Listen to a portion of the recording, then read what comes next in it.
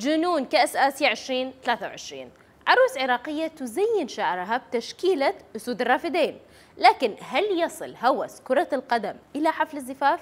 تزامنا مع بطولة كأس آسيا انتشر مقطع فيديو على منصات التواصل الاجتماعي. لعروسة عراقية بتسريحة شعر غريبة. تسريحة الشعر الغريبة والمدهشة لفتت عروس عراقية الأنظار إليها بها بعد ما تداول رواد مواقع التواصل الاجتماعي مقطع فيديو ظهرت فيه على نطاق واسع. ووثق الفيديو تصرف غريب من العروس اللي استبدلت تاج العروس المعتاد بصور لاعبي منتخب العراق كجزء من تزيين شعرها.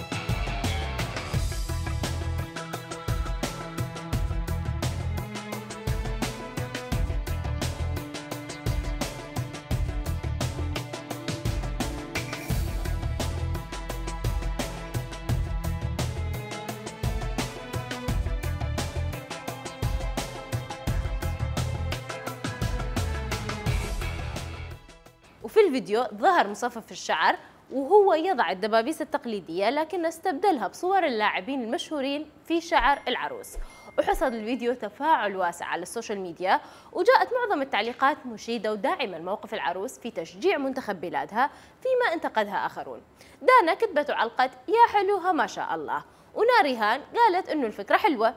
بينما نسرين عبرت عن إعجابها بالفكرة واحتمالية أن تسويها لفريقها المفضل ريال مدريد وقالت ريال مدريد أنا قادمة.